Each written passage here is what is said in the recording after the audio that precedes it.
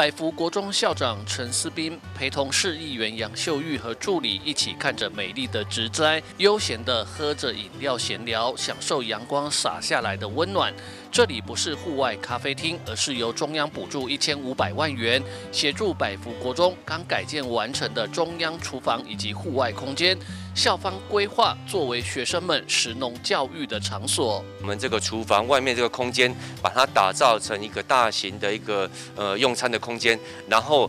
在平常我们在实施这个神农相关教育的时候，就可以利用这个空间来进行相关的活动。对，这个就是我们当时所规划的。那因为我可以看到，我们这整个的色调是非常柔和的，我们就希望给学生营造一个好像是在家里嗯温暖用餐的一个感觉。除了明亮又遮阳像极的户外咖啡厅的户外空间，通透式的中央厨房规划，如果坐上高脚椅，分隔窗户两边喝饮料吃饭。也容易让人错认来到了哪家知名的餐厅。其实这是市议员杨秀玉顺道来参观百福国中刚整建完成、漂亮新颖的中央厨房空间。最重要的目的是特地把七堵慈心宫普渡拜拜的五百斤白米转赠给百福国中，作为学生营养午餐使用。那我也希望说借由这个，就是说送这个米，告诉我们所有的学生哈，我们这些学童哈。知道说我们这个我们在用餐的时候，就是我们要知道盘中就是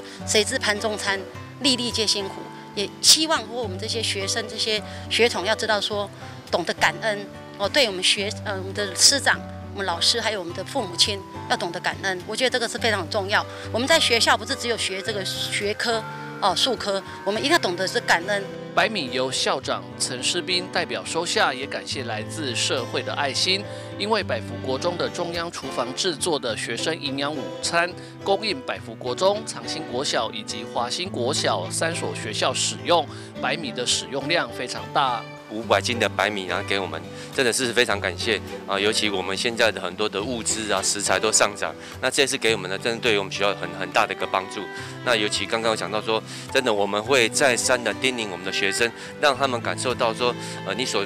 说到的很多的帮助，这个都是一点一滴由社会善心人士转。真捐赠给我们的，那我们希望说学生在学校能够永远记住这份感恩的心、感恩的情。那将来他们有一天长大时，一定要有机会要回馈给这个社会。杨秀玉也感谢七堵慈心宫转赠百米的爱心，造福新兴学子们。记者吴俊松基隆报道。